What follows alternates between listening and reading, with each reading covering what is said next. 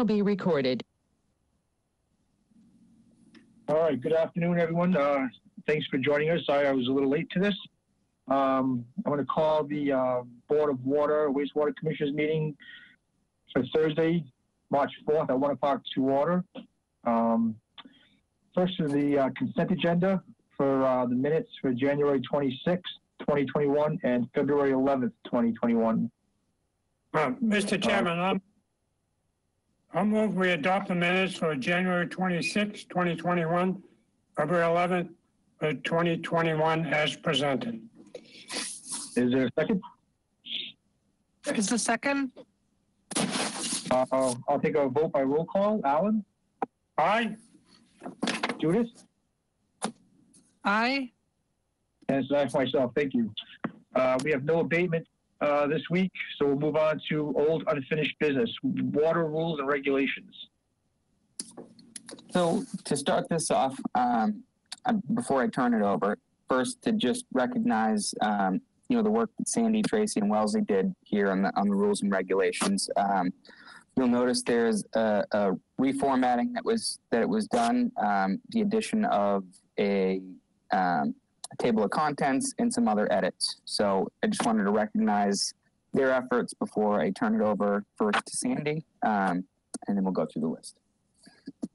All right, Oh, we can't hear you, Sandy. The microphone is on. Your microphone's showing green here.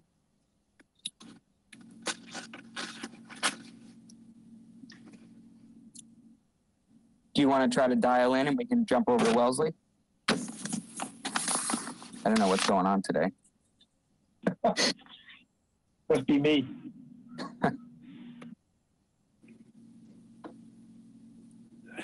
No, it's just your turn, Gary. I guess so, geez. No.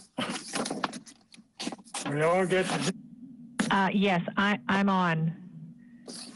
Hi, Sandy. Oh, this is Wellesley. Are Oh, sorry. I can't. Hi, Gary. Hi. Sorry. So, uh, yes, it's, it's been a little while since we've done a few revisions to the rules and regs. Um, so what all of us did was we reviewed the language and we found a few areas that really should be looked at for uh, revisions uh, as far as replacing some language um, that is, you know, at times confusing or not clear, um, adding some language that will help uh, define the regulation or rule that we have in place, or removing um, a, a section that might not be relevant uh, anymore. So basically, the the items that we made recommendations on uh, were, you know, put together by all of us and, and sort of um, based on items that have come up over the years uh, where these changes um, really are sort of necessitated uh, a change in the regs so that we're all clear on the interpretation. All right. Sandy, are you on now? Uh, yes, can you hear me now? yeah, Okay, Uh, sorry about that. Um, so I went back to listen, um, to all of the, um, meetings that you reviewed the regulations. Um, and so I just confirmed all the changes that are made within the document that you have. Um, those changes, um, that were already reviewed and, and accepted are in yellow. Um, and you'll see some of it is striped through in black and the rest is red. Um, in addition to that, I did find some definitions. Uh, we were a little weak on the definitions. So I did add a few if uh, the board is in agreement with keeping them. Uh, they're highlighted in yellow, uh, such as the backflow, backflow prevention device, cross connection, um, irrigation submeter. That is going to be uh, to be continued, but the there's a definition there: uh, meter pit and curb stop. So those are new definitions uh, new to you that I've added in. Um, If you agree, they will be helpful. Moving along, um, when I passed these, uh, the document around, uh, Wellesley and Tracy also found some other items that could be worded better for better, you know, better comprehension and understanding.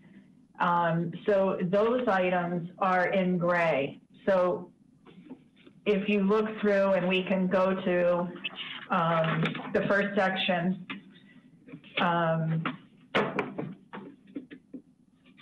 actually in the preface, I, I highlighted in gray um, to confirm Mass General Laws, Chapter 41, because now um, where your water, wastewater, I just wanted to confirm that um, we're referencing, making the correct reference. Um, water slash wastewater has been added, you know, slash wastewater has been added to every area where the board is mentioned within the regulations.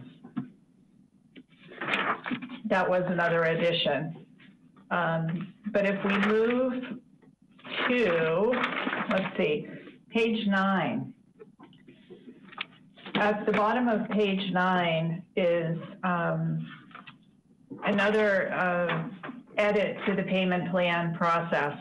And um, just to make it a little more clear uh, that, you know, if an individual is requesting a payment plan, they must not be in arrears more than one calendar year is what was existing. Uh, we would like or are recommending to modify that to potentially be no more than two billing periods. So that's a six months in arrears versus a whole calendar year in arrears. So that is um, up for your consideration. Um, moving to page, I I don't know how you want to, you know, do you, I guess, want to discuss these as we go along, or we can cover them, and then as we're, there's going to be several meetings to follow um, that we're, you know, you'll, this will be on the agenda. Um, We still have the irrigation meters to work through as well. So any section that is in gray is uh, new recommendations brought to you. And I don't know if everybody's had a chance to review those, um, and, or do we want to look at them one by one? Um, I think at this point, we can just, if you want to just do the highlights, that's fine. And then we can, like you said, we still have to come back and, um, look at this again. So, um, Okay, I mean, if, if there's anything significant that you, you'd like to point out, and then we can still review it. And, um, like I said, like you said, we still have to come back anyway, if that, you know, Yeah. if that's okay with Alan and Judith. Um, Well, I, I've read them all, you know, I've had the, the uh, opportunity to go through it all. I, I think it's, uh, fantastic, you know, it- we could still do it, uh, you know, take your time. Um, um, But, uh, it, it's, uh, it's, it's a real change, uh, it's a good change.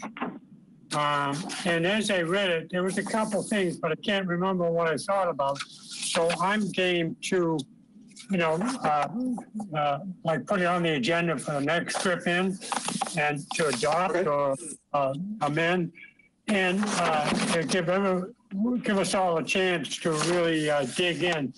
Um, the only thing I found, uh, one item under page, on page 14, under 510, uh, the, uh, in the third line there, seasonal service. Um, uh, it, uh, it uh, has beings in there and it needs to be begins. Uh, that typo there.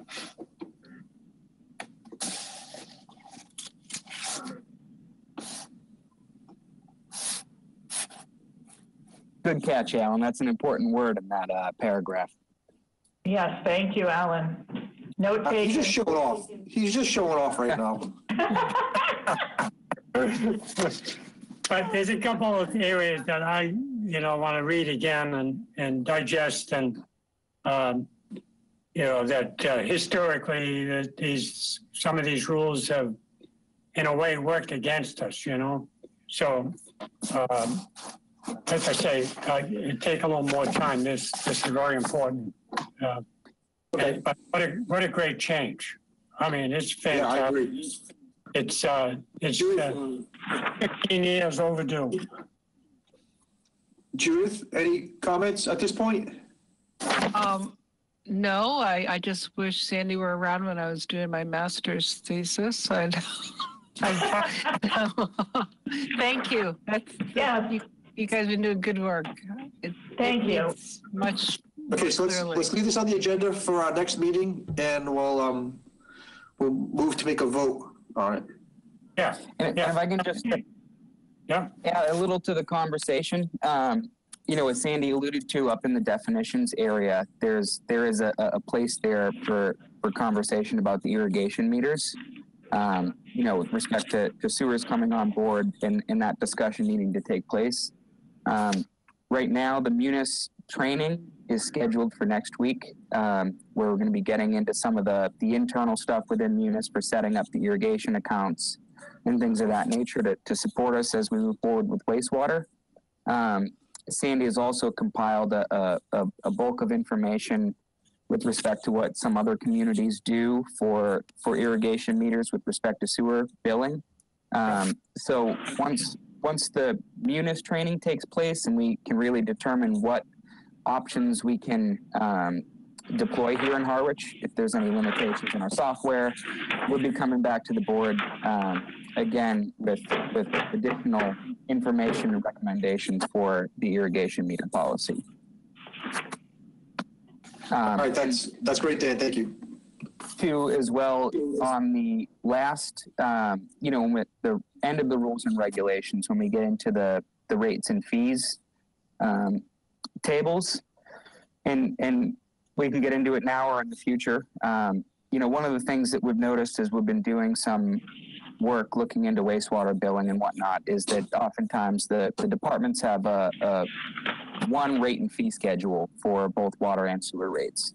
Um, so in the in the packet today in the water rules and regulations there's the proposed water rates for july um, it may be something we want to consider putting the sewer rates on there as well but also take this opportunity before we adopt the rules and regulations to look um, again at some of our uh, some of our fees um, I, I believe it was sandy or that brought it up at one point about making sure that what our billing rate is actually covers the cost of having our employees uh, on the job.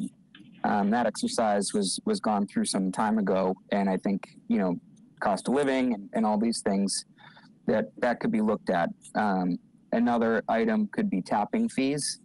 Um, you know, in both residential, but also in in larger developments. Um, I think we've touched upon it briefly in the past, but you know, some towns will charge twenty thousand dollars for you know an eight-inch tap on you know to build a new subdevelopment, and and the fees associated with that could be earmarked for the development of, of new well sources that are going to be required to supply water to those new subdivisions. Um, you know, so there's so, some other things that we may want to consider before we move to the formal adoption. Um, but we can you know, bring those back as, as the information presents itself. Can I ask Oh, a good. question on that? Follow-up. Question? Thank you, Gary. Um, and if this is a bigger conversation, we can do it later, but, uh, so new well exploration, that sort of piece of, of a budget, that is always under the water department, that does not come out of the general? Like, it's, Correct. Yeah, no, that's all out of our, our retained earnings or, or bonding that we would do.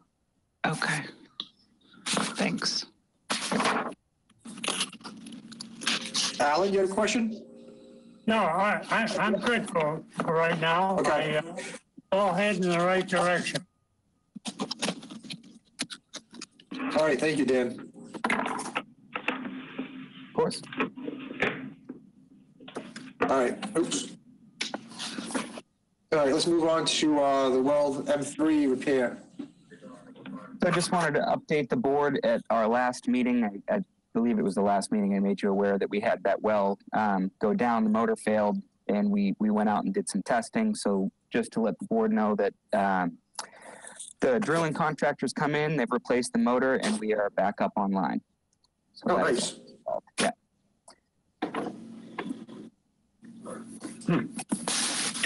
All right, let's move on to uh, Lothrop Ave pump control programming upgrade. So the um, Bernie's been out working with the vendor this week um, on that reprogramming. So I would say 90% complete. And the only reason I leave out 10%, um, if you recall the work that was being done, we were adding a, a screen to allow the operator to go in during water main flushing or in the event of a fire. Should we require more flows, that it would be really a one button um, pick the flow rate and hit start, and we could very easily start that pump station to support whatever operation we're doing outside. Um, so the programming has been written and installed, um, and we did do some testing on it, only up to about 700 gallons per minute. Um, and we only went to that flow rate because right now the other tank is being offline, the Pleasant Lake tank being offline. We didn't really want, not looking to push the limits of our, our system right now. So once that system comes back online and um, we have that additional air vent, you know, to atmosphere, we can fully fully test that out to the, the full range of the pump station. But it, it is done and installed. Awesome, that's great. Um, And, uh, I- Yeah, Good, Alan. Gary? Yeah. Yep. Uh, I have to wonder why uh, that wasn't installed when the, the, uh, the system was um, initially put in place. As I recall, that called on that pump station to kick in, and it was a problem. Uh, I finally had to have somebody up there manning it in order to, uh, I forget what the event was, either the broken main or, uh, or a fire or something, but it, uh, you couldn't do anything with it at the time. So, Yeah, so right now the way the so the the the tank over on Lothrop really operates in two two primary functions. There's summer mode and winter mode. Um, in summer mode, the the concern about uh, you know additional fire flows or things like that would be handled just through the normal operation of the, the tank and the pump station because that Okay. pump station is programmed to maintain a target pressure set point in the distribution system. So, for example, if, if the fire department came out and opened a hydrant and dropped the pressure in the distribution system, that pump station would say, okay, too low, got to kick on. And, and it would pump in as much water as it needed to maintain that target uh, set point. In winter months, because we don't need to run the tank because, uh, you know, the, the water demand isn't there, um, we're really operating that pump station to cycle in and cycle out the water so we don't have stagnant water, keep the water quality good. So Mhm. during the winter month operation, it pumps in to the tank, um, you know, for a few hours in the morning and then pumps out of the tank in the afternoon, irregardless of what the pressures are doing. So this, this additional programming, uh, component was really to, to give us that additional functionality during the winter. Um, so if we're not running it based off of a target pressure set point, that we can still very easily, um, you know, give them the service they need. okay, okay, got it. Judith, any questions or comments so far? And to Alan, just just one more quick note. And the reason, part of the reason too, with the that we don't want to run it in, in summer mode uh, all throughout the winter, is it operates a lot more, and it's a lot higher of elect- an electric cost for us to run it at that pressure sustaining mode during the winter when it's not necessary. Okay, yep. All right, thanks, Dan. Um, Pleasant Lake tank project.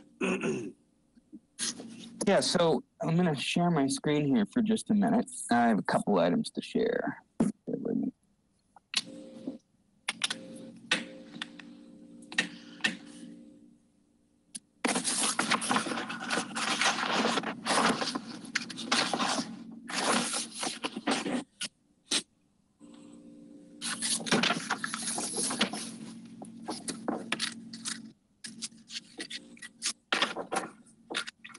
All right, so let me know if you see my screen here. Yep. So just to give you guys an update, and I think that, that the plan, I hope, will help uh, graphically show you better what's going on. Um, so the, the contractor, Trumbull Construction's been out working on the tank for a few weeks now. Um, they've demoed all the interior piping and, and they've been working on the overflow piping. So the overflow piping um, is what's right here in the center of the screen. If you bear there in the in the red cloud here. So this is the pipe that has now to date been installed. Um, they had the welding inspector out yesterday and today to, to field inspect the welds on this pipe uh, prior to, to painting, painting that. Um, this week, you just shift over here. They have been shifted from inside the bowl assembly to outside, and they are installing this section of pipe that runs horizontally over to the edge of the finial of the tank and where it ultimately will drop down and into the control room before leaving the tank here. So that is current progress for the contractor. Right now, they are looking for subcontractors to install the do the concrete work here for this base elbow that's going to be in the control room. Um,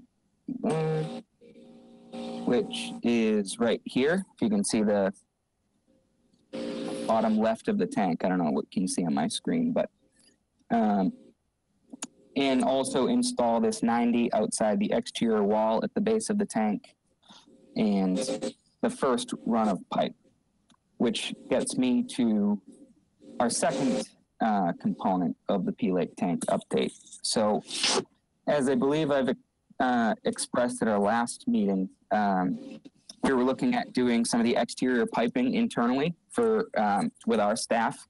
So Steve has put together a materials list um, with our waterworks vendor, and the materials to install that pipe are approximately seventy-eight thousand.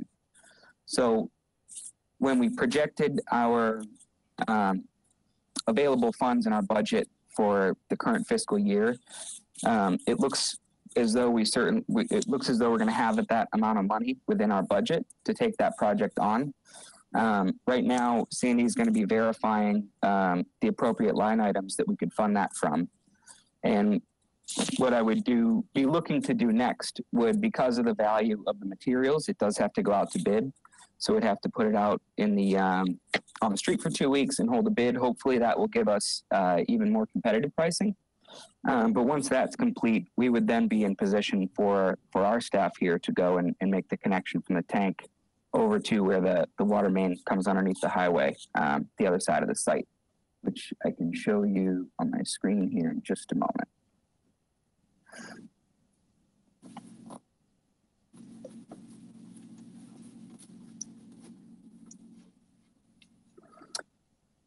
So the image here on the left is the old piping layout which comes down and comes out. Um, you can see, see right here. So this is the existing pipe, and it is proposed to be demolished and rerouted um, out through this this path here. So this is what our staff would be doing, is making this connection. So it's about, I want to say, three to 500 feet. It's 24 inch pipe um, and and materials aside, would probably be saving, um, you know, the taxpayers about, I'd say two to three hundred thousand by completing this work internally. That's great, Dave. I'm glad that we're capable of doing that scope of work, especially like at the cost of the um, uh, labor. So that's great. D- Uh, Alan or Judith, any comments or questions? No, uh, what is that twenty-four inch hook into? Twenty-four inch under the highway? It goes 16 in two directions. So the Oh, yeah. Okay, Yep. so it'll be feeding down towards the tech school and then underneath the highway. Yeah. yeah, yeah, okay, yeah. Uh, I'm good. All right. Judith? I'm good, thanks. All right, uh, moving on to uh, new business, unregulated containment, contaminant monitoring rules. Yeah, so this is, I just received notice um, from EPA the other day of the advertisement for, this is the initial advertisement, if you will, for the unregulated contaminant monitoring rule five. Um, so some may recall, and um, I believe Gary and Alan were here, I believe Judith came on board after, but when we did the UCMR three and four, um, that was done, I believe it was in 2015, right when I came on board. Um, when we did P- the, the first round of national PFAS testing. Um, so the UCMR 5 has 30 contaminants, 29 of them are perfluorinated or polyfluorinated compounds. So it's a much more comprehensive um, evaluation of, of perfluorinated compounds in the groundwater. Um, as well as they're also looking for lithium is the is their last um, contaminant. Um, so that is going to take place in 23 and 24. Um, in addition, we also have um, new PFAS testing at the local level. Um, through DEP, the new PFAS regulation has been put into effect, and we will be conducting our first round of samples um, this April, so next month. Um, so I just wanted to put that on the board's radar, um, that that UCMR sampling is upcoming. Also, that we are going to be conducting quarterly samples for PFAS as part of the new regulation. Um, in case anyone seeking information from you folks. Thanks for the information, Dan. Appreciate it. Dan, can I ask a question, Gary? Absolutely. Yeah, um, for the testing, the sampling rather, um, do you have to do from all different sites or is it, uh, Yeah, so it, it's we're, we're required to sample at the distribution entry points. So we have five of those locations in town.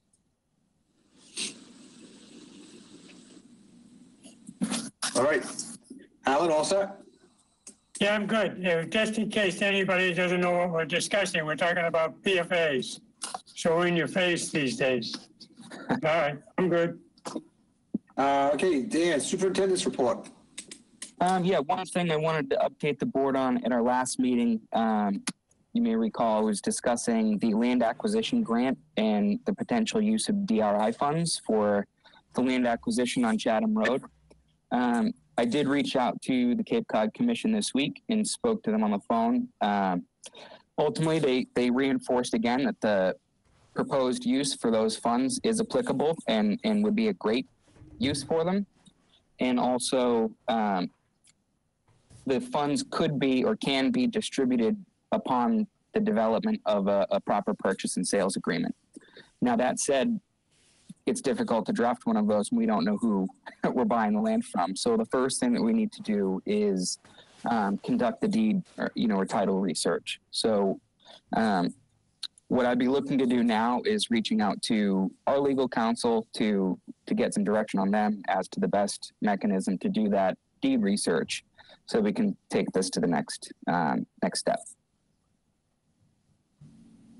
I, I, I say go ahead. And just as a reminder that the DRI funds are 100% reimbursable, where the DWSP grant was only 50% reimbursable. So, so it's a, a better deal, um, much better deal for the town. Yeah, that's great, Dan. Thank you. All right, um, commissioners report. Alan, No, I'm good. Judith,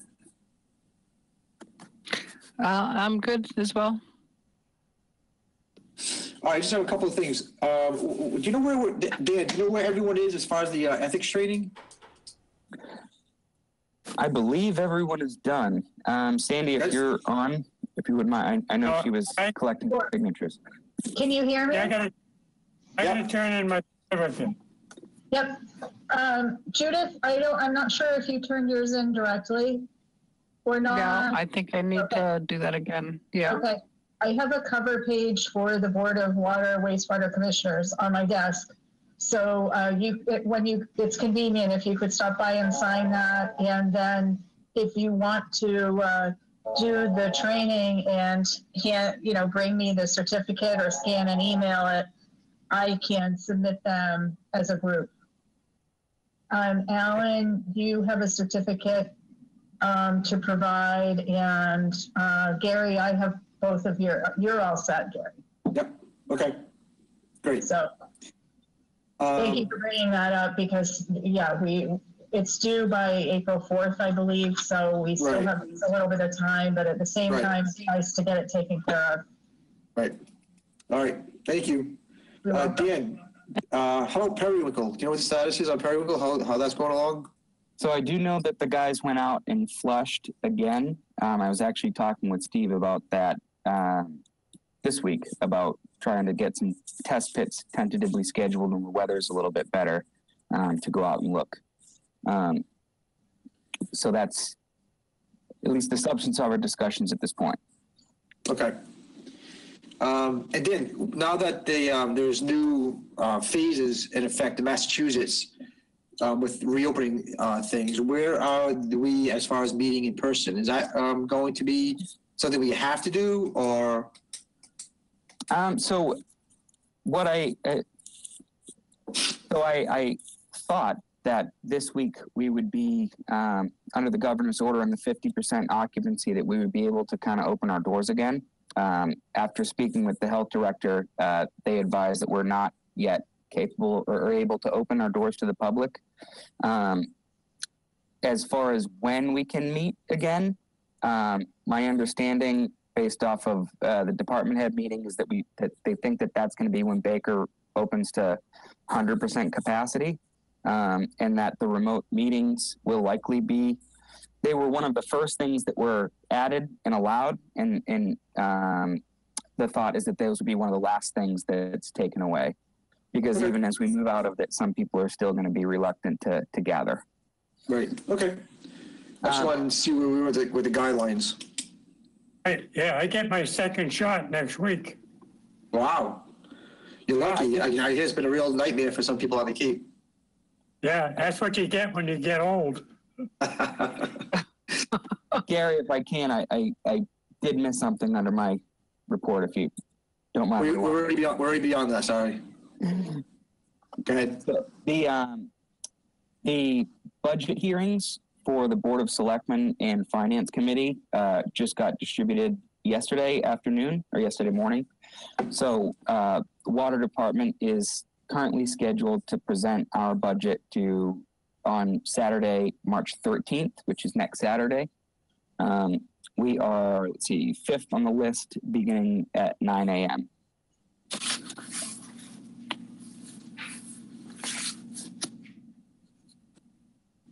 All right.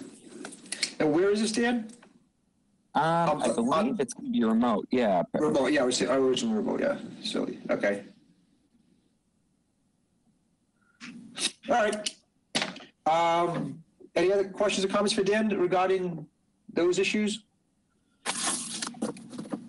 All right, I just wanted to close with, um, just to clarify something. I was reading, uh, the Oracle the other day, and it was pertaining to the, uh, meeting with the selectmen about the funding for the uh, West Harwich project there, the $150,000. And um, in the article, it looks as though um, I was commenting during the meeting about our position for that funding source. And just to clarify, I was on that meeting, but I was only on that meeting to report on behalf of the War department. It was the annual report that we do every year. Um, so, and by no means was I um, representing the board of commissioners uh, during that conversation. In fact, I never commented on that that um, discussion. I left the meeting before that was even had. So if you read the article in the paper, it kind of looks as though I, I was commenting on it, and that's just not the case. So just wanted to clarify that because um, I, I would never um, personally comment on the board's position unless we've already voted or taken a position on something. So I just want to, you know, get that out there so that we're all on the same page. And, Okay, uh, that's that's really all I have. okay. All right. So next meeting.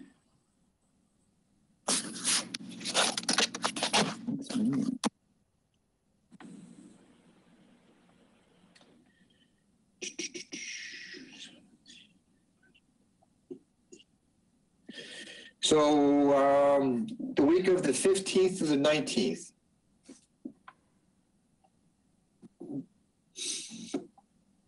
Uh, Thursday, the 18th, is that good? That's fine with me, yep. Could we do the 19th? The Friday? That's fine with me as well. Yeah, Alan? yeah, yeah, I, I'm good. Okay, Dan, does that work? One o'clock? Fine with me. All right, Great. perfect. All right, I'll take, uh, St. Patrick's Day. I Yes. didn't want to say that. I'll take uh, a motion to adjourn, So moved. and I'll take a vote by roll call. Alan? All I'm right, sorry, I need- I'm sorry, let me back I'll up, I need a second, I'll second. second. I'll Thank you, second. Judith, thank you. Uh, Alan, all right. Judith, Aye. that's time for myself, thank you very much, and we'll see you in a couple of weeks.